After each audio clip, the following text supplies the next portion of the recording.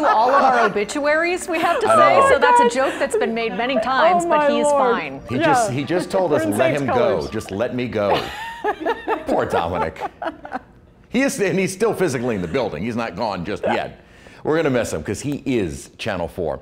Looking outside right now, a beautiful day. Really was a pretty afternoon, and humidity has been a little bit lower. Dew points upper 50s and low 60s across most of the area, but humidity right now is only at 40% with a current temperature of 86 degrees. Today's high 87. Again, yes, above average, but when you factor in the slightly lower humidity, it doesn't feel quite as bad. And again, records on these dates in early to mid October still get into the low 90s. So even as we go into next week when temperatures may be flirting with around 90 degrees, it isn't unusual as our records indicate we can't get into the 90s. Now our morning start 60s and low 70s around the metro area and probably a similar start tomorrow morning as we do have mostly clear skies outside at the moment. We'll stay under clear skies overnight and with the humidity in the lower range, we should see the temperatures dropping by the evening into the 70s and then overnight 60s and around 70 degrees. Still in the 80s across the area at the moment, but dew points really have been steadily decreasing all day long. Looks like we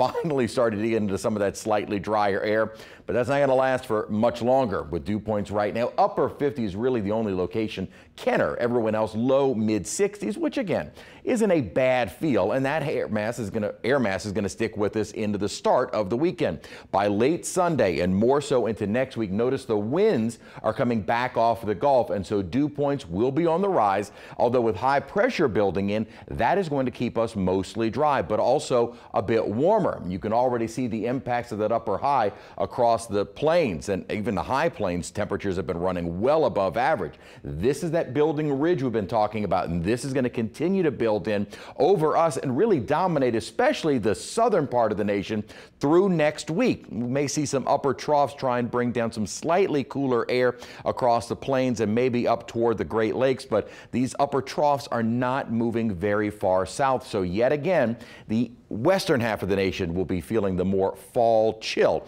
But there does look like we may start to see a pattern shift. Now, during the week next week, the upper troughs are going to favor out west. But notice as we head into the weekend of next weekend, the upper troughs start to deepen across the Tennessee Valley and down to the southeast. So that may be the pattern shift we've been waiting for, where we actually see a real cold front to move through and finally start to see some more fall-like temperatures.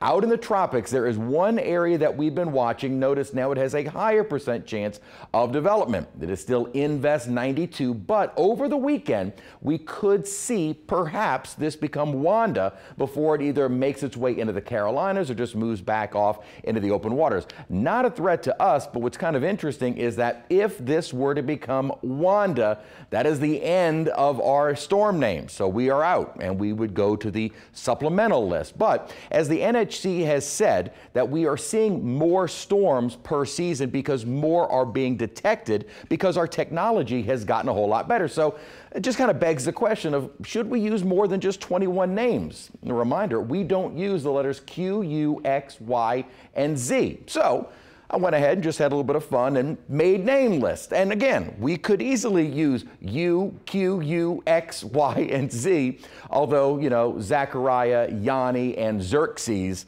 may not just roll off the tongue. The names are available. So maybe we ought to expand that out. We're not seeing any kind of organization of the Carolinas right now, but again, more of just the novelty. If this were to become Wanda, we would have the second season in a row where we've run out of names and had to go to a second list. Remember, we no longer use the Greek alphabet. Gulf of Mexico, quiet as is the Caribbean, so we're not worrying about anything in the near future. And after we get past the midpoint of October, things usually do settle down. Highs could be flirting with around 90 degrees as we get into early next week. Rain chances slow to come back more toward the end of next week. Let's be honest, Chris. I mean, if we can get through Cristobal, Cristobal, Cristobal. Xerxes rolls off the tongue. it does. I Yanni, like it. I like Yanni. Yanni, Yanni's good. Yanni. All right. Uh, I think you're onto something. All right. Thank you, Chris. Might be.